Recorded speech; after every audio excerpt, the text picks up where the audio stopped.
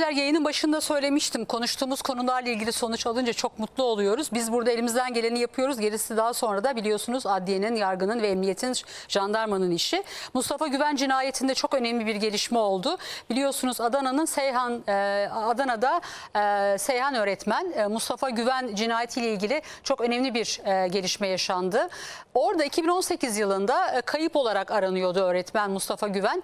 Eşi Nazmiye ve babası Ahmet Demirci tarafından öldürüldüğü ortaya çıkmıştı. Hatta Nazmiye Hanım'ı da ekranda görüyorsunuz. Öğretmenlik yapmaya da devam ediyordu.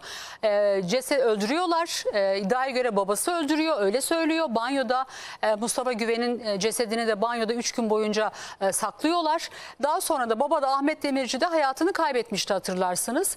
Hatta e, eşi Nazmiye de suçu babasına atmıştı ve davadan da beraat etmişti. E, öğretmenlik yapıyordu. Hatta yayınlara da bir türlü katılmamakla ısrar ediyordu.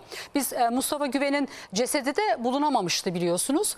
Kasım 2022'de Mustafa Güven'in ablası Fadime Hanım bize başvurdu, bize güvendi sağ olsun.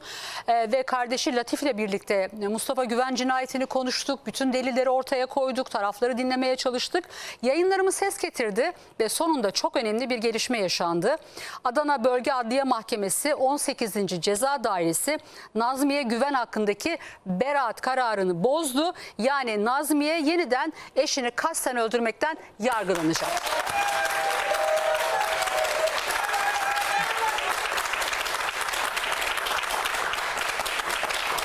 Dolayısıyla da e, tekrar yargılanacak. E, çünkü her şeyi itiraf ediyor ama ben öldürmedim babam yaptı diyor. İyi güzel de e, delilleri karartmakta Nazmiye Hanım e, iddiaya göre babanıza yardım etmişsiniz. Bunu siz zaten kendiniz itiraf ediyorsunuz. Yeniden yargılama yapacak. E, umarım eğer gerçekten katil oysa ve yardım ettiyse de hak ettiği cezayı bulmasını kalben diliyorum. Çünkü Mustafa Güven'in şu anda e, cesedinin yerini de söylerlerse belki de ömür boyu cezaevinde kalacak Nazmiye öğretmen. Umarım öğretmenlikte gerçekten cezası da kesinleşirse artık o kadar öğretmenlik nasıl yaptırıldı onu anlamadım ben yani. Olacak iş değil gerçekten.